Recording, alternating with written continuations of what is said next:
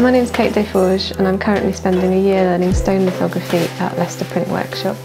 I'm being taught by Serena Smith who works here as a technician and I feel very privileged to be spending a year doing something I love.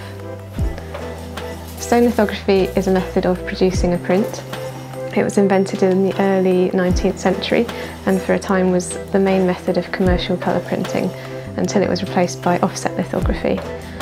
Um, it's now used mainly by artists to create fine art prints. It differed from all the other known methods of printing at the time by making use of the chemical principle that oil and water will not mix. It's a planographic printmaking technique, meaning that the print is taken from a smooth, chemically prepared surface rather than a surface which is etched away or cut out.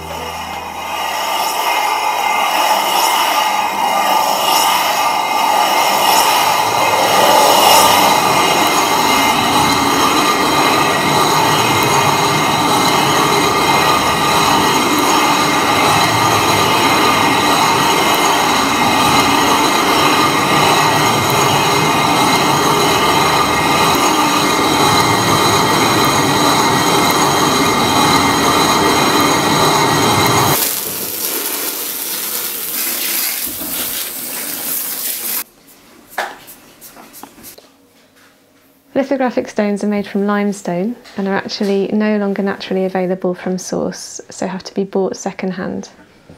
The stone surface is ground down to a fine grain using different grades of grit and a bit of elbow grease.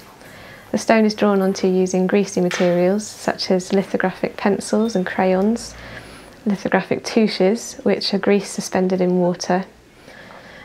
When applied to the stone, these materials create a water-repelling hydrophobic area, when the drawing is finished, gum arabic is then applied to the stone, which creates a water-retaining hydrophilic non-image area.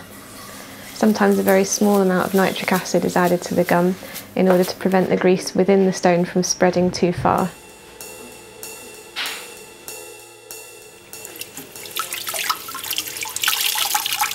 Proof prints are then taken by washing off the gum and whilst the stone is kept damp, greasy printing ink is rolled on which adheres only to the greasy image areas.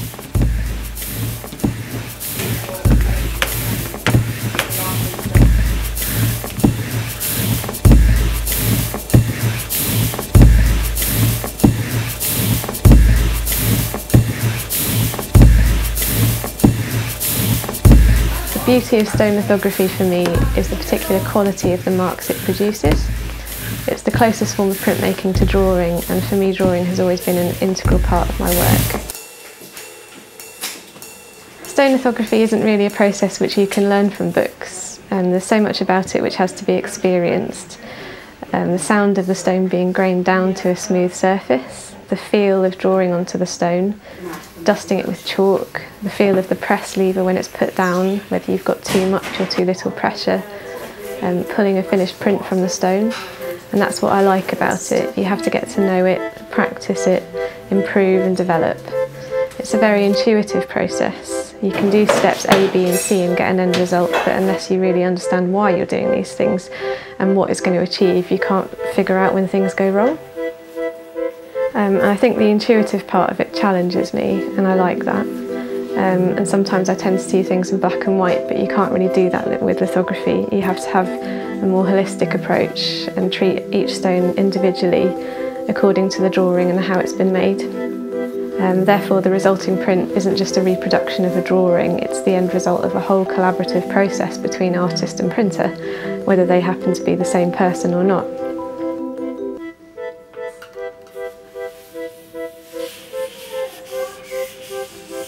In any other printmaking technique, there's a certain physical boundary between the image in the artist's mind and the reproduction of that image on the matrix in front of them.